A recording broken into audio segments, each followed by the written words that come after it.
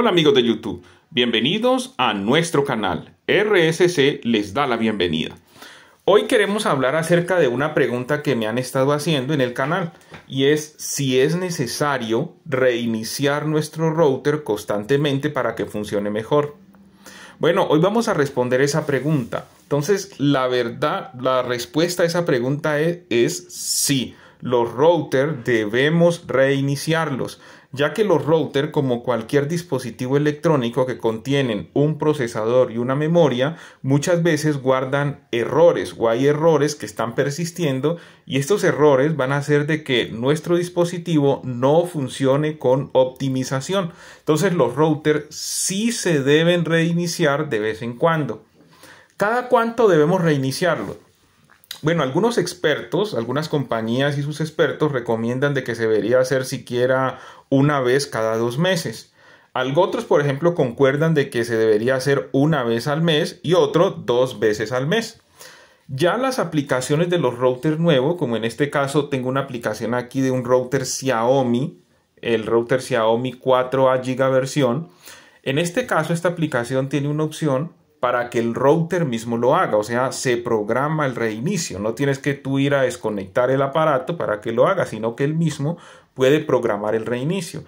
¿Esto a qué va a ayudar? Bueno, va a ayudar a que los errores que recoge el router cuando se reinicie puedan borrarse y así pueda funcionar mucho mejor.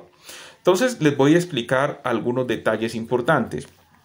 Vamos a pensar aquí en esta aplicación, aquí ya tengo conectado el router, voy a ir a caja de herramientas y aquí hay una opción donde dice más herramientas y hay una opción programar reinicio.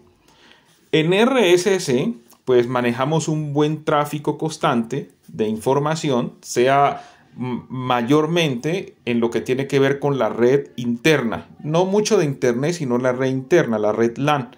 Entonces, ¿qué sucede? Normalmente si programamos nuestro router, este es uno de los nuestros que tenemos, tenemos varios, pero en el caso de este lo programamos para que se reinicie todos los días a las 12 y 1. 12 y 1. Entonces lo hace a la mitad de la noche para que no haya interrupciones de ningún tipo en el día, pero a las 12 y 1 nuestros routers se reinician. Otros los tenemos para que se reinicien una vez a la semana para que borre los errores. Este es el que más se usa por la velocidad que nos suministran nuestros dispositivos. Entonces lo reiniciamos todos los días. Pero recuerda, o sea, se hace automáticamente.